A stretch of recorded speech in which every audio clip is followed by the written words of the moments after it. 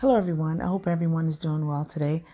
I decided to make this recording because I received a lot of messages with regard to problems with relationships and um, people needing prayer. And um, I just wanted to encourage you guys. I always like to encourage people, and I just want to encourage you guys and let you know that a lot of times relationship problems are more than what meets the eye. There's something going on um, behind the scenes, something that you may not understand, something um, that you can't see. It's a lot of things that are driven um, in the spiritual realm and it manifests itself in the natural realm. And um, if anyone has heard my videos, um, they've heard me say a number of times that we wrestle not against flesh and blood, but against principalities, against powers, against rulers of darkness and spiritual wickedness in high places. Which means that we're not fighting against that which we can see, but we're fighting against things that we cannot see, which makes the fight unfair for us because we don't know what's going on. But, but if we have the Spirit of God living in us, which is the Spirit of the Holy Ghost, and if we have a relationship with God, God will will will will reveal to us what is going on, and um, whether it be in the dream or whether it be um, through preaching or just having someone um, say something to you in a conversation, God will reveal to you what is going on. I just wanted to share a couple of stories that happened, a couple of things that happened to me in my marriage, um, just to let you guys know that this um, spiritual thing is real. The dark side is real. What we can't see is real. And um, because when I when I grew up, um, I was taught not to um, talk about things like that you know it's bad because you're going to call it on yourself or whatever but it's actually happening but we're so ignorant about it we don't know what it is. And when things bad happen in my, our lives we just think that it's the norm or everyone is bad and it's not that.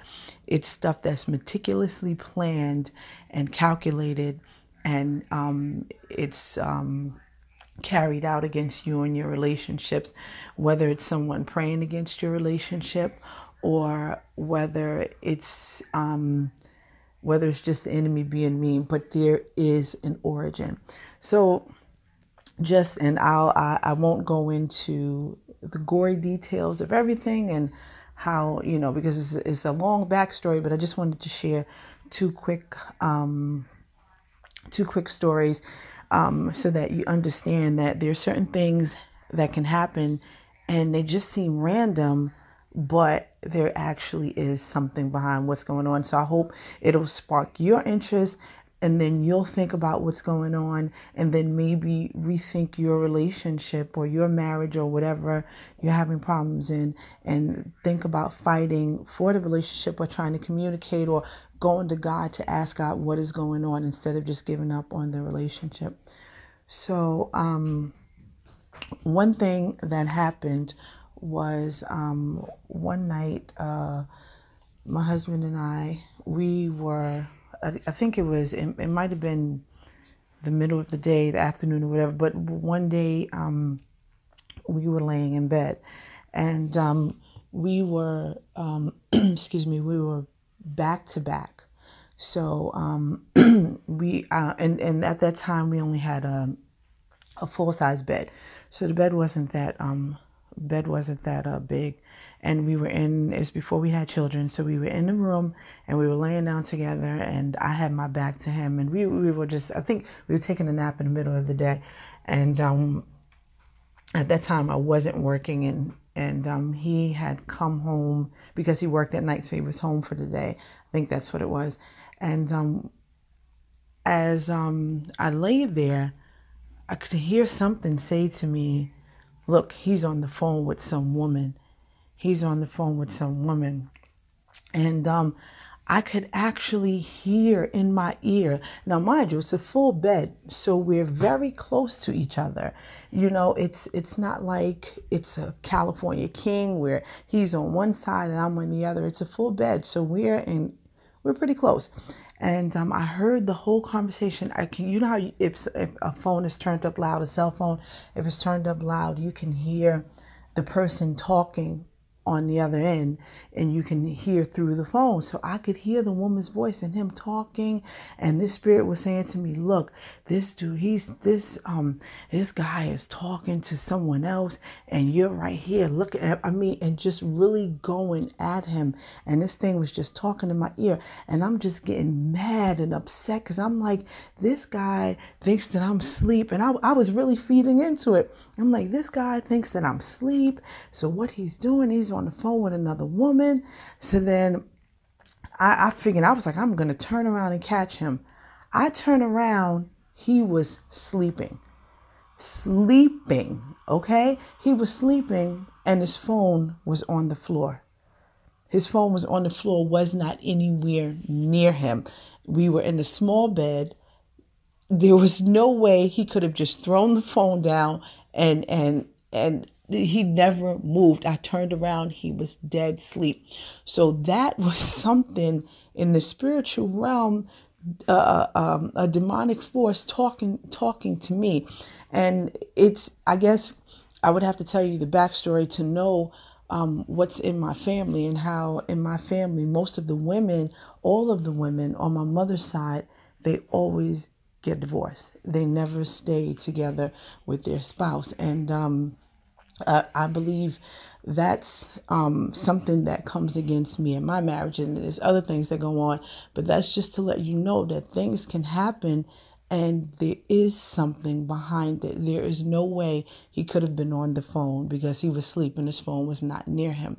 Then um, I have um, another story where um, we, you know, we would um, fight from time to time. And just over stupid things like if we have a conversation we would start to fight. And um, i would see like when we when we would argue i would see like a little black it looks like a little rat. And i would see it like sometimes run across the room or just stand right there. And that was god showing me that there was a spirit causing us to fight so um, I, I you know at that time, I, I was talking to God about it and I dealt with it. And um, so that stopped. And then some other stuff started. It was just stuff after stuff. So um, this last story I, I, want to tell you is um, one time, you know, every, it seems like every time we try to get close is something working against us. So I made, um, he's from another country. So I made a pillow of, um, his country's flag colors. And I put his parents, um, I, got a picture of his parents and I put their face on the pillow. And I was so excited to give it to him when he came home. So um, I left the pillow out. I was like, well, Lisa, if I leave the pillow out and I fall asleep, then um, we'll, he'll come home and he'll see it. And um, so he came, so I left the pillow out. Next thing, something something wakes me up at about it had to be about five something in the morning. Something woke me up, and that was about four or five o'clock. And um, I woke up in a rage. I woke up breathing heavily, just woke up in a rage. And that's how you know when you have something demonic on you or something demonic working against you or, um, you know, feeding stuff to you because it, it it woke me up and it planted itself in me and woke and I woke up, you know, breathing hard, upset already, just opening my eyes. And um, I noticed my husband wasn't my husband wasn't home. And um, it said to me, look, he's not even home. He's not even home. You you should just leave him. He ain't no good. He's no good. He's not even home. So I was like, you know what? I'm done with him. And then I thought about it. I was like, and and for a minute, I was like, you know what? I'm not even gonna try to call him. I don't care. So now I was like, no. And then I, I um, I, I, was like, no, okay. So I'm going to call. I called and um, I called and I called a couple of times. I was like, you see, I can't get in touch with him. And then finally he picked up. He was mad at me because he thought I locked him out. I went, I went and um, checked the locks, and he told me, he said, go look at the locks. I went and I checked the locks, and um, the lock had jammed.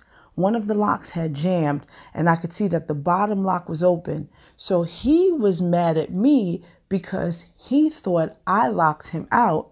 And then the thing, so what happened was whatever that spirit was, it jammed the lock so that he couldn't get in, so that he thought I locked the door on him. And he was upset with me, and he went to go sleep wherever he went to sleep.